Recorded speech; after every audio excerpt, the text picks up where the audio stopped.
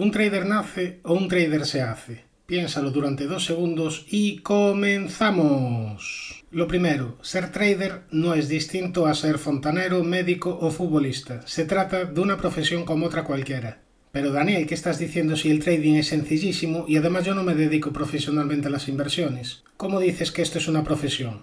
Lo digo porque independientemente de que sea tu principal actividad o no, si no operas de manera profesional podrás ganar quizás dinero a corto plazo, pero a la larga sí o sí acabarás perdiendo. El trading puede parecer más fácil que otras profesiones. Haces clic con el ratón y ya estamos tentados a pensar que somos unos traders de la leche. Pero al igual que por abrir un grifo no eres fontanero o por tomar un paracetamol no eres médico, por hacer clic con el ratón no eres trader. Por tanto, vamos a partir de la base de que en el trading debemos tener un comportamiento profesional para poder ganar dinero. Ahora imagínate por un momento a CR7 o a Messi. ¿Habrían llegado a donde llegaron sin haber entrenado duramente? Yo creo que no. Quizás hubiesen sido buenos jugadores porque tienen mucha calidad. Bueno, sobre todo Messi.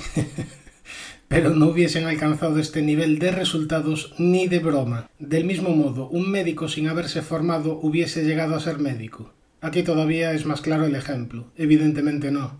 Y así con cualquier profesión que elijamos. Sin formación, entrenamiento, práctica o experiencia es imposible alcanzar altos niveles. Ahora, Cristiano Ronaldo o Messi habrían sido, por ejemplo, buenos escritores. Mm, así a priori parece un poquillo difícil, ¿no? No parecen haber nacido para ello.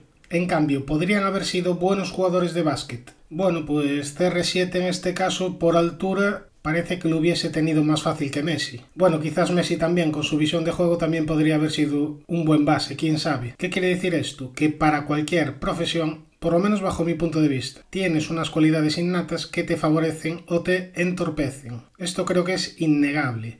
Pero también es innegable que sin esfuerzo y dedicación jamás puedes llegar a ser un número uno. En el trading, si eres una persona que eres capaz de gestionar bien tus emociones, lo tendrás más fácil. O si eres una persona que sabe aceptar la realidad y aprender de sus errores, tendrás el camino más avanzado. Por el contrario, si eres alguien impaciente que busca el resultado inmediato, incapaz de aceptar errores, prepotente o inseguro, lo vas a tener más complicado a no ser que seas capaz de darle la vuelta a todas estas características. Por tanto, yo me inclino más por el término medio. Un trader se hace, pero el punto de partida es diferente. Ahora bien, si no trabajas en desarrollar tus cualidades, si no trabajas en la técnica, si no te tomas el trading en serio, absolutamente de nada te servirá tu ventaja innata.